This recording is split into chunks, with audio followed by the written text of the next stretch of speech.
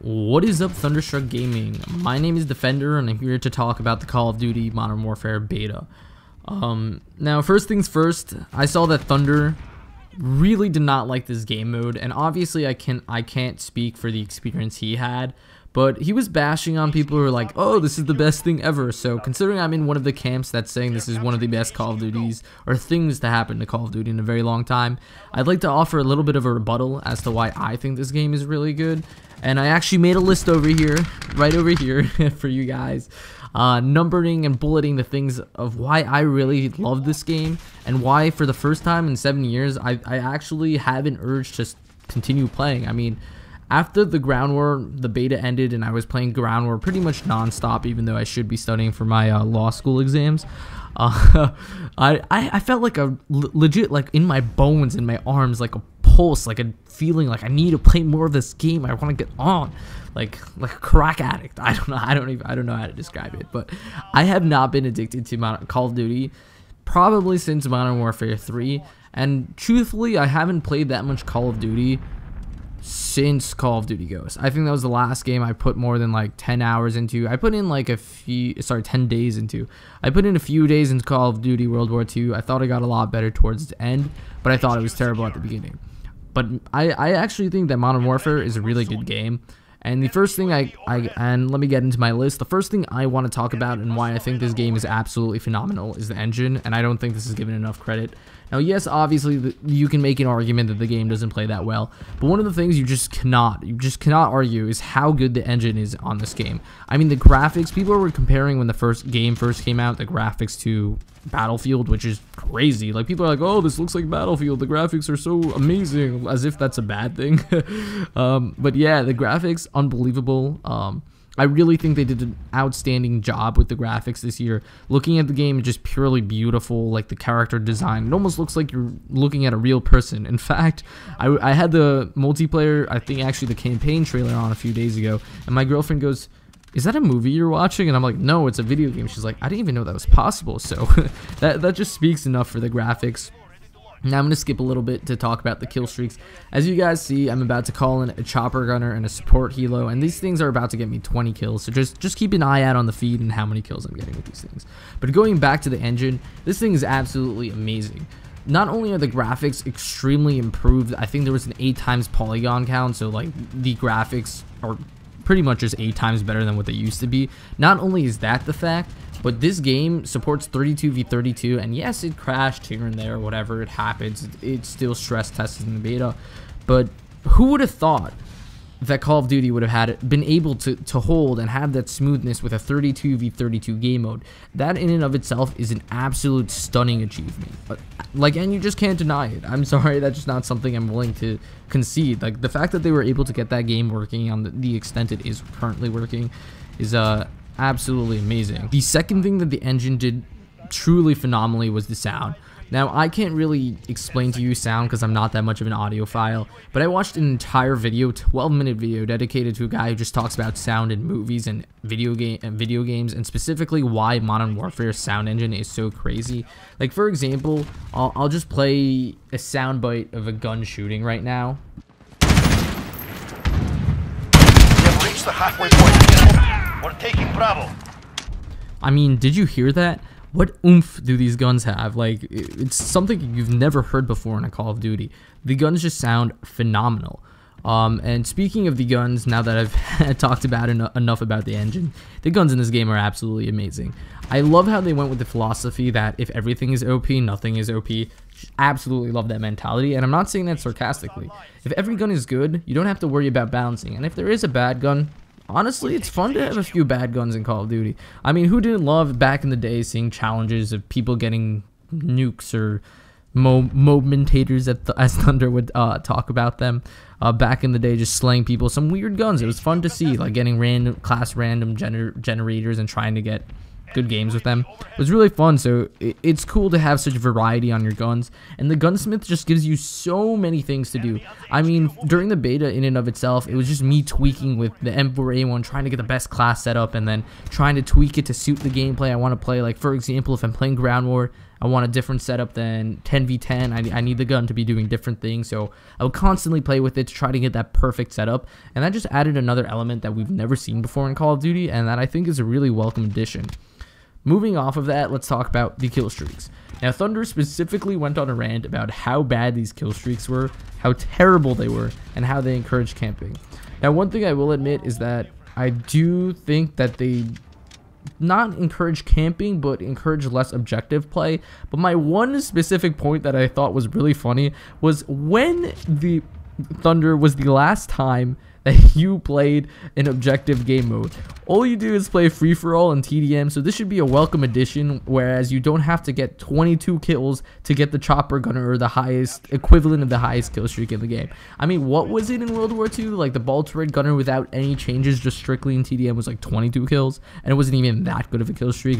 Like maybe you'd get five kills with it. So very i'm very happy to see the kill streaks come into play. If anything it actually made playing the objective a little bit more fun for me because it's not just absolutely everyone throwing themselves at it like headless chickens. Now it's like all right i want to go get this flag so i have superior uh, position on the map and this way i can slay kids. So i like this addition of the kill streaks and on top of that they're powerful as I'm, I'm gonna curse, uh, hold out the cursing. Sorry if it sounds a little bit weird, just because I don't want him to get demonetized. But these these kill streaks are strong. Like earlier in this video, I showed you a clip. These kill streaks get me 20 kills. Now, obviously, they take a little bit of time getting used to, and um, they just do they will just do better in 10v10 as opposed to 6v6. Because if there's more people to kill, they're just gonna they're just gonna be getting more kills. And I think that was one of the philosophies of why they actually wanted to increase the game modes.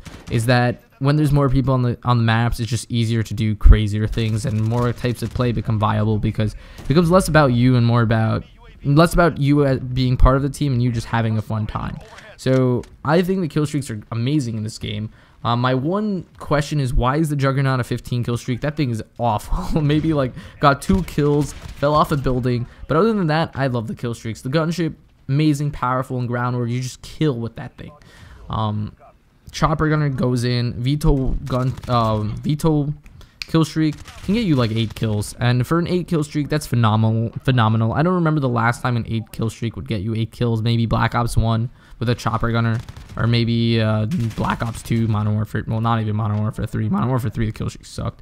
Uh, but it, it's good to see these change of paces of kill streaks going in and i'm glad infinity ward addressed it um, now let's talk about the modes there apparently are so many modes in this game that are out already. You're talking about gunfight, ground war, 10v10, 6v6, each with their own maps and each with their own unique style of play, which is which offers something for each type of player. In addition, uh, according to the prominent leaker in this game, uh, there are a plethora of other things to come out as well. Um, meaning, like, they I think they went to the drawing board and have 80 different game modes, and then on top of that, you get to vote on which ones you want to have in the game. So that's great to see. I mean, the more variety we have, the better. Um, so that's always good to see. The next thing that I want to talk about is ground war. Ground war. I love ground war. I, I mean, real talk. Sorry about my dog in the background, but real talk. I I haven't enjoyed a game mode that much in ever. Like I, I literally the second it ended, as I mentioned earlier, I just wanted to hop hop back on.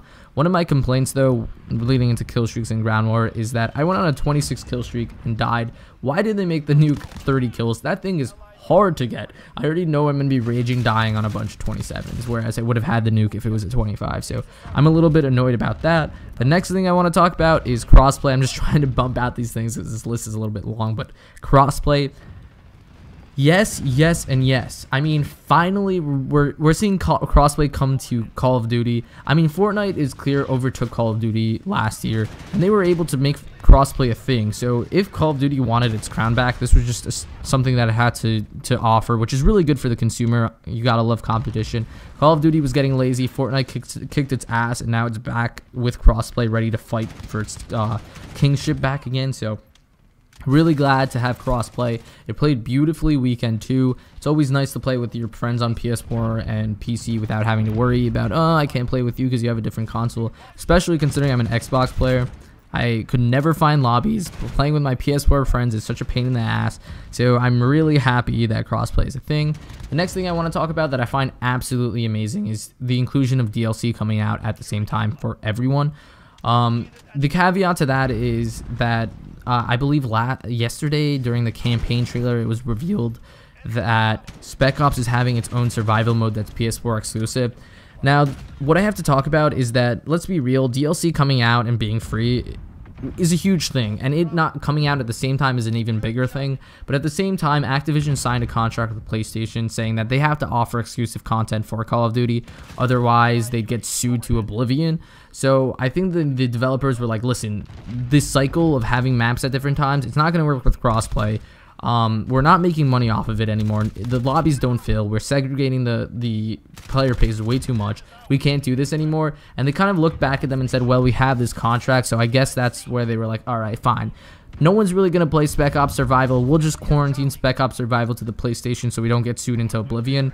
And I, I guess that's what happened. So I, honestly, I think the trade-off is really good, especially for me being an Xbox player. I don't really care that I'm not going to play Spec Ops Survival. I have so many other things to, to play, so it's not the biggest deal to me.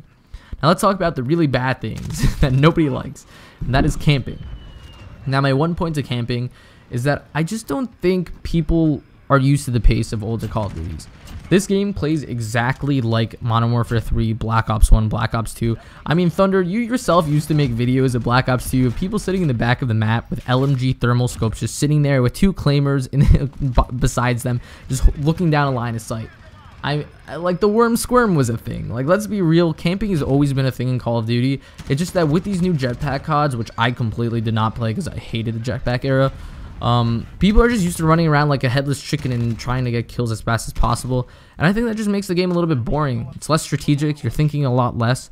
Um, and yeah, camping is a problem. Camping is pretty strong. But if you look at what I'm doing during this gameplay, I'm I was moving from choke point to choke point, looking at where like look, I know people like to camp in that window. I look there, shoot them, kill them, then I move forward.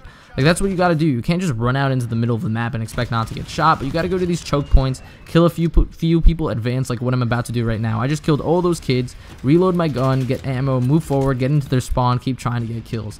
It, it's that type of play that you have to play with to be successful, and honestly, I haven't been having a hard time. Once you get that mentality of, all right, I know where people are going to be. If I look there, they can't kill me, and look at that kid get turned on. Um, you're gonna start having a much better time. And in addition, like Ground War really lets you play however you want. Like if you're using a silencer with Ghost and Ground War, you can run up behind people and get beat. And it's just it's just fun. Now I think most of Thunder's complaints are coming from the fact that he's playing 6v6. I personally don't think the game was created for 6v6 whatsoever. So my recommendation is to move off of that. Um, yeah, I, I do think it's possible to rush. So the main complaints people have with this game I don't really relate to. The maps, again, I don't think they were designed for 6v6, which is why you're having such a bad time on them. I think they're going to be included into the 10v10 playlist as the as the game gets older, so I don't think that's the biggest deal. Um, anyway, this video is coming to an end. If you guys agreed with any of my hot takes, please feel free to share in the comment section below. Um, if you are interested in seeing me stream and make more YouTube videos, please come check me out at my new channel. I'm, I just restarted, so I have very little subscribers, and I appreciate every single one. See you guys on the next one.